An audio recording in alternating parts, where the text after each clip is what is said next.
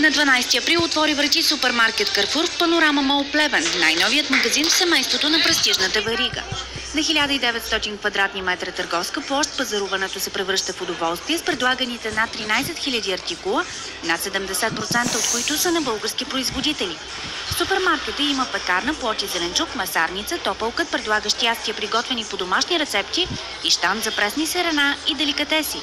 Специализираните щандове работят по високите стандарти на Карфур. Ежедневно в магазина се предлагат топ оферти и промоции на изключително атрактивни цени. А специално подбраната българска музика създава добро настроение и празнична атмосфера. Иновативната концепция на Карфур предлага богат асортимент от качествени стоки на достъпни цени и се отличава с персонално отношение към клиентите и маркетингова политика в партньорство с българските производители. КМБ България, която представлява марката Карфур у нас, получи тази годишната награда на списание Forbes за иновации в пазаруването.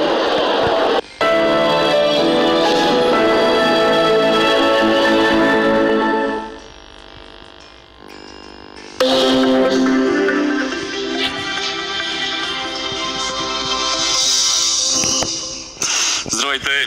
Макар и към финал, денят все още е изключително цветен, честито и да сте ни живи и здрави и още по-колоритни и усмихнати именици. А в делника, понеделника, колкото и сиво да звучи, ще е и по-слънчев и по-топъл от цветната неделя. И не просто по-топъл, ами с цели 4-5 градуса по-топъл. Можеше да ги поразмести малко и да се случат днес тези красоти, ама на. Понеделнички ги реши, всички да сме слънчеви и около 20 градусови. 18-20, като изключим морето, няма да намерите по-малко. Но дори и морските 16-17 градуса с слънчице и слаб южен ветрец, направо си ми замирисва на моренце. Велик понеделник се очертава и макар и да не дава особено много възможности, възползвайте се. Кой както смогна, че това ще му е хубавото време на страстната седмица.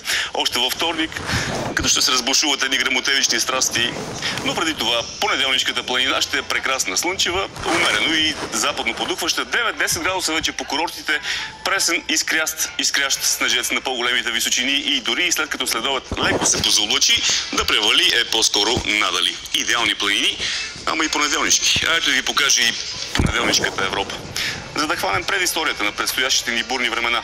Ето тези напоителни дъждове от централните и по-северни райони комплекс с тези полски и германски около и под 10 градуса са на път и нас да ни посетят. Ето го дъжда, как бързо се спуска към Балканите и как едно ги стигне във вторник и ще спре да бърза и те тук на ще си се загнезди.